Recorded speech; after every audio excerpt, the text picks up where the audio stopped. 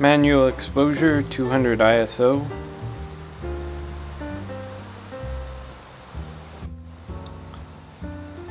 Okay, now from 6400 ISO, I'm going to bring it down to 200 ISO again for exposure control.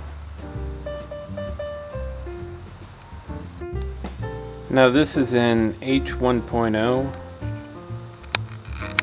back down to 6400 and all the way down to 200 again. The shutter speed is set to 1000 frames a second and this should create a stutter look for very choppy panning.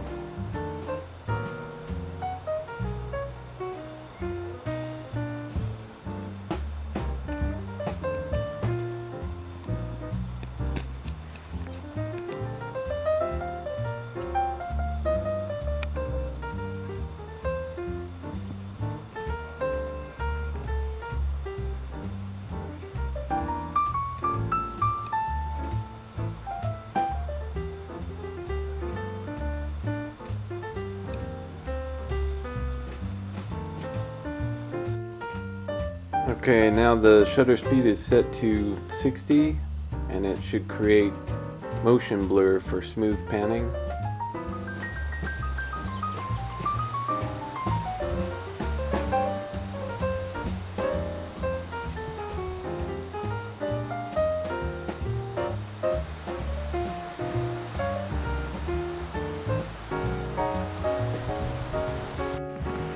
Now dolly in and out, see if that looks smooth.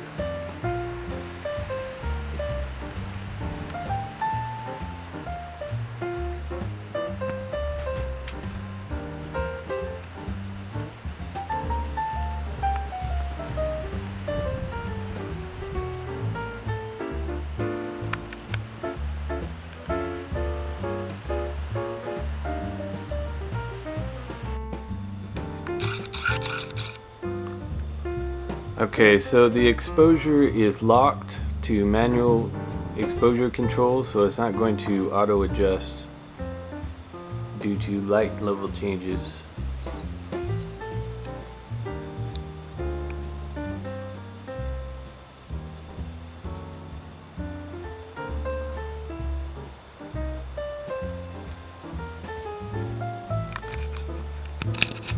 And of course it could still be manually adjusted